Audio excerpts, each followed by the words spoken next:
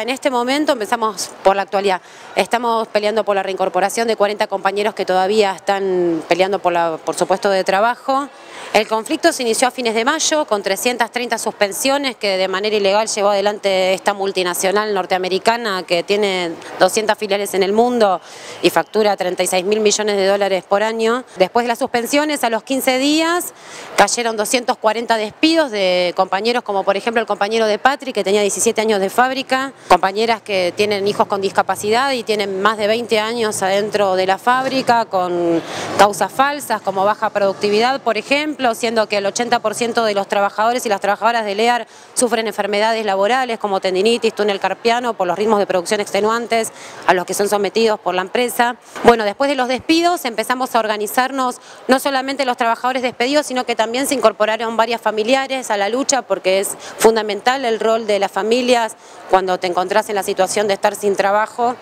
Bueno, el rol de las mujeres eh, en este caso es fundamental, eh, tanto como sostén de nuestras parejas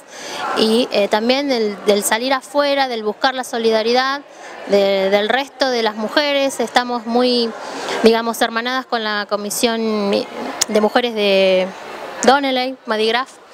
bueno, y es eso, salir y pelearla, hacer fondo de lucha, porque hay una realidad que el fondo de lucha es importante para que esta lucha no se quiebre por hambre, entonces eh, el encuentro implicó una gran oportunidad para difundir y para eh, hacer un fondo de lucha, eh, que es de lo que estamos subsistiendo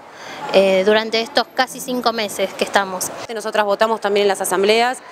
estamos en los cortes de Panamericana, estamos aguantando las represiones, enfrentándonos a la gendarmería, enfrentándonos al ESMATA y a la empresa y al gobierno también, que es cómplice obviamente de todo lo que nos está pasando. Nosotros creemos que el gobierno es, cómplice de, de los despidos, de hecho 17 años, mi pareja 17 años de trabajo, digamos, y echarte así sin indemnización, no sé, es un retroceso en los derechos laborales, en las conquistas eh, históricas de la clase trabajadora. Entonces, bueno, este gobierno que levanta la bandera de los derechos humanos, eh, con familias en la calle,